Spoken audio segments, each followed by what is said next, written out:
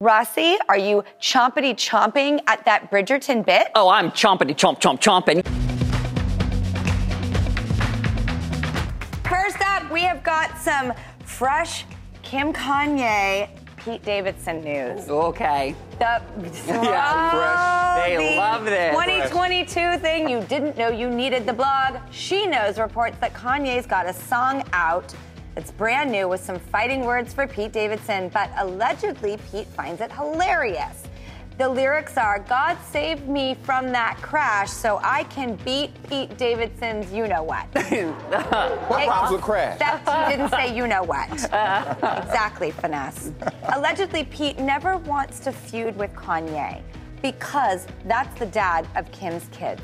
Plus, he expected to be referenced in one of his songs sooner or later. Discuss? Oh God. my God. Right? Are you into this? I, I absolutely love it. We knew Kanye was going to do this. Yeah. I mean, did we expect less? No. No, and I think Pete absolutely loves it. He's happy about it. The thing is, I think he's a little afraid. Just a little bit. Pete? Yes, Pete's a little afraid. Really? Yes, it's, but he's not afraid of Kanye. He's afraid of Kanye's fans. Well, first up, our story today, it's going to be wedding bells for Machine Gun Kelly and Megan Fox. Yes. But we got details on that ring. And I liked finding out what they were. People reports that Machine Gun Kelly designed it himself. He also designed it with thorn tips so that if Megan tries to take it off, it hurts a little bit. Okay. Well, That feels very in keeping with them. A little torture, a little mm-mm. yeah. mhm. Um, the ring is actually two rings, one emerald for her birthstone, one diamond for his, another detail I liked knowing.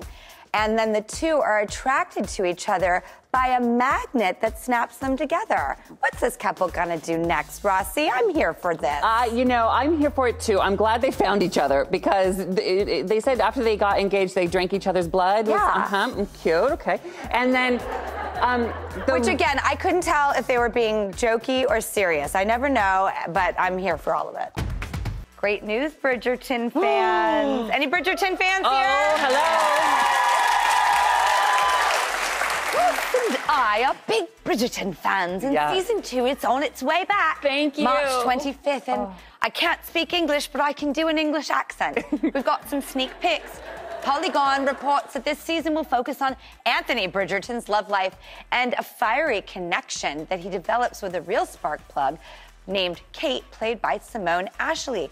Rossi, are you chompity chomping at that Bridgerton bit? Oh, I'm chompity chomp chomp chomping. Yes, I cannot wait. I mean, I'm I almost put a corset on today just to get ready for it. I am so excited. I the show is full of passion. It's beautiful. The sex scenes, I don't know if you've seen it, but they're intense and I miss them. All right, next, we've seen all those decorative wooden plaques with the words live, laugh, love on them. Well, this one is so awesome, this story, because apparently the phrase has become a huge joke for Gen Z. Okay, Yahoo Life reports that live, laugh, love is being now mocked by millions of people, especially the younger ones on TikTok every day. Some in sort of this tone, like this video, Do you see this, Kelly? Look, it says live, laugh, love. Isn't that precious? You know, we don't have anything over the couch in the den. I guess I'm gonna have to get it. It's just too. It's just too perfect for a family. Live, laugh, love. So simple. Okay, so that's one approach, but they're also using it like, I just got ghosted again. Live, laugh, love. Or I just filed for bankruptcy. Live, laugh, love. Jay, what's your take on live, laugh, love? Well, you know, I'm, I'm going to play a bit of devil's advocate here. I, I think we need a little more live, laugh, love in our life, but not, not on a plaque, not, not in your home.